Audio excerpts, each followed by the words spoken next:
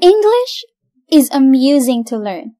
However, it can be a bit hard too.